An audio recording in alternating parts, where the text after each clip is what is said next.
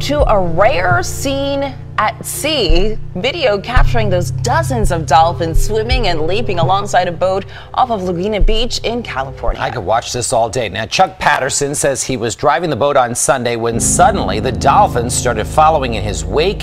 He estimated that more than a hundred of them surrounded the boat. Patterson says the dolphins seemed super happy, and even from the boat, you could, quote, feel the energy. So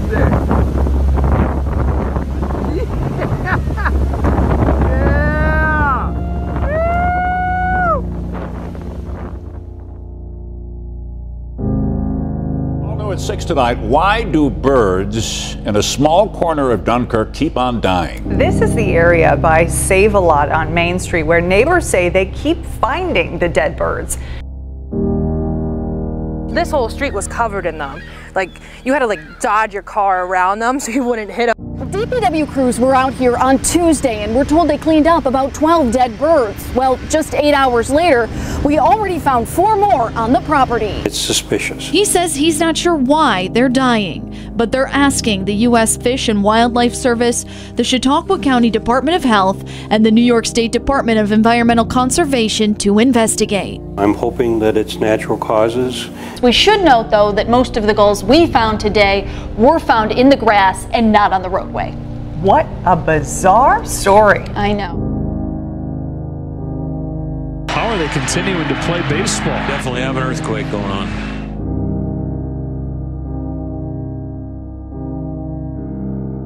There have been distressing scenes at an Adelaide primary school where bloody birds have dropped from the trees in front of horrified children at vacation care.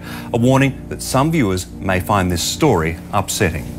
Animal rescue volunteers rushed to the school yesterday afternoon where the animals were found with blood gushing from their mouths. There was a bird that was just flying in front of me. Something kicked in, or whatever has been happening to these birds has kicked in and suddenly came tumbling to its death. Obviously, it's horrific. Um, they don't, they, they die very painfully. Um, they're very distressed, they're crying, they're bleeding. Volunteers returned to the school grounds today where they found several more dead corellas. Local vets are still trying to determine how they died. Developing this morning, we are learning more about a rare scene in St. Simon's Island after more than two dozen pilot whales beached themselves. It happened right near shore. Researchers are trying to figure out what caused the pod to swim towards land. We've never had a live mass stranding of pilot whales in coastal Georgia um, historically that we're aware of. Um, this is a odd thing to have happen here. You're seeing video of a pod of about 50 pilot whales swimming close to shore at St. Simon's Island. Dozens of the animals, which are actually large dolphins, were spotted Tuesday. About six were stuck in shallow water. Dixie McCoy went on Facebook Live to share a look at an unusual occurrence. These are St. Simon's Island. All these whales have been washed up to shore. And there's already been one whale that's been attacked by a shark. One after another, whales flopping around, lining the beach, struggling to survive. It is so sad. Oh my God. Well, I spoke with scientists and lifeguards today, and they all tell me the same thing. They have never seen anything like it before. Everybody was crowded around it. You could tell that this doesn't usually happen on an island like this. 50 pilot whales, a dozen already beached, the rest in shallow water. Oh, poor baby. Rescuers turned waist deep water into whale triage. They said to be careful of the tails, very powerful. They physically turned around animals 20 feet long, weighing three tons. It's extremely rare to see something like this, and now they're trying to piece together why dozens of these animals rush towards this beach on St. Simon's Island. No one knows why pilot whales strand themselves. Over the last decade, mass strandings have happened about once a year, usually in the southeast, typically in Florida, but not in Georgia. Breaking news a dead beached whale washed ashore on Navarre Beach this afternoon. Navarre Beach Fire Rescue was there. They released these pictures. No word yet on what killed the whale.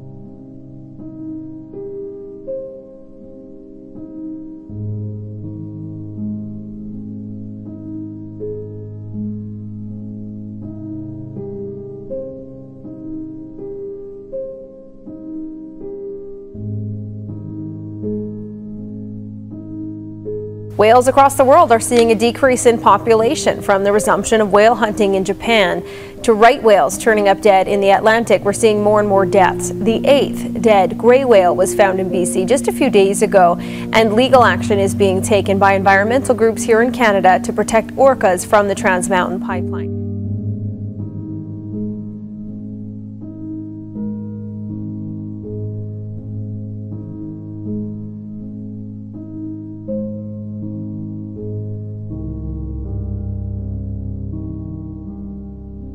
But uh, in addition to that, with the whales dying off both the east and the west coast, as well as a new legal challenge to Trans Mountain, we're going to, to the uh, because of the uh, the southern orca whale population. I want to understand where these animals really are under stress, because clearly, if you look at it today, where, where, there's barely any harvesting at all, versus sixty thousand per year uh, back several decades ago, you would imagine that many of the populations have recovered. So I think it's time for a, a bit of a check-in, but also see what we know about why it is these animals are di- dying, what is putting them under distress.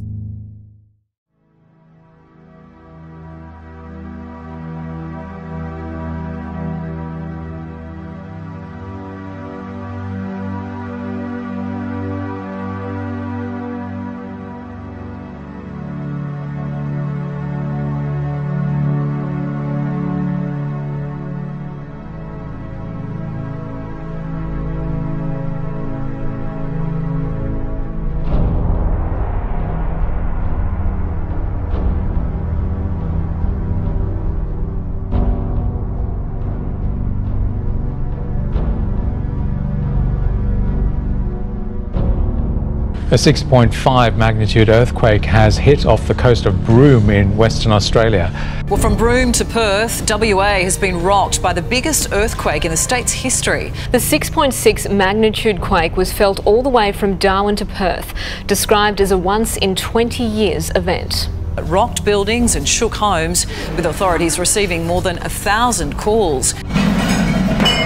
A terrifying 60 seconds as a 6.6 magnitude quake hits our northwest. Oh, what do we do? Everything is shaking. And the shop was just swaying from side to side like the whole building. It was felt in nearby Karratha, Derby, even Darwin. A 7.2 magnitude earthquake has rattled the Northern Territory, shaking buildings, and residents have reported cracks appearing in their homes. The first signs of shakes, lights swaying across the Nine newsroom. At a suburban shopping centre, locals rush out the doors. We've just had a bloody earthquake, and I thought, oh, felt a bit of a rumble going on. I wasn't sure if it was me guts having a few too many drinks or something like that. And all of a sudden, boom, side to side we go. Earthquakes here aren't unusual, but this caught locals off guard. I felt tremors before, but not like this. But people are basically reporting some uh, loud roaring noises as, as the seismic waves approached and um, some long uh, period shaking associated with that earthquake. Yeah, dead set. Just had an earthquake in Darwin. you!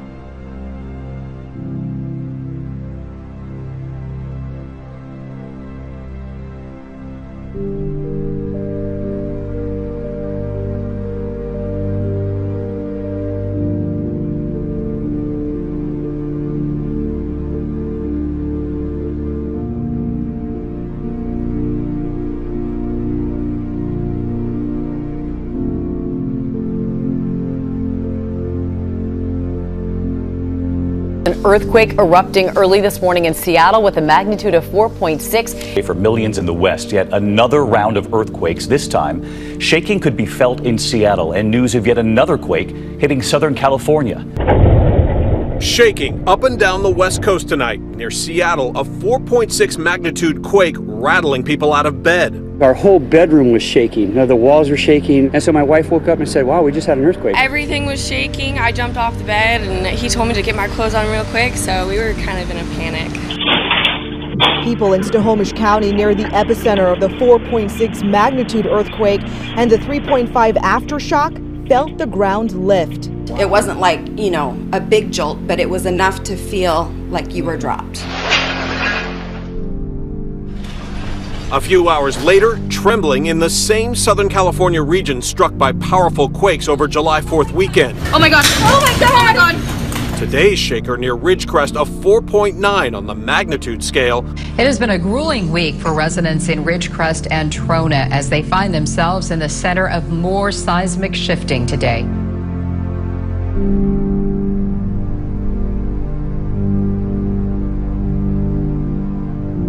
In the last seven days, shifting faults have triggered a swarm of 585 aftershocks above magnitude 3, ending what had been a relatively quiet time for quakes.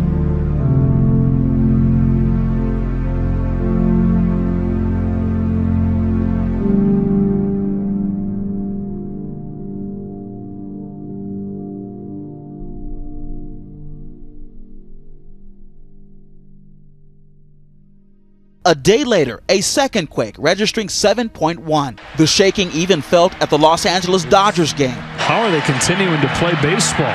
Just to give you an idea of how powerful this earthquake was, look at this. The ground is split and there's a gash in the earth. And when the violent shaking started, it shifted the ground and left a crack that stretches for as far as the eye can see through the California desert. The biggest earthquake in two decades struck California's Mojave Desert. It rattled chandeliers and was felt by news presenters 250 miles away in Los Angeles. We need to get under the desk. All right, we're going to go to break. Uh, we'll, we'll, be, right, right back, back, after we'll be this. Right back. Wow. That many Californians haven't felt for 20 years about the many fault lines that straddle below this region of some 18 million people. Last night, 7.1 magnitude earthquake could be felt across the state. And shutting down a highway strewn with rocks. Caused ceiling lights to sway at this casino. Oh my God. Reports of tremors came from as far away as Sacramento, an eight hour drive to the north, and several hours to the south in Mexico. The epicenter of the Southern California quake was in the city of Ridgecrest, halfway between Las Vegas and Los Angeles.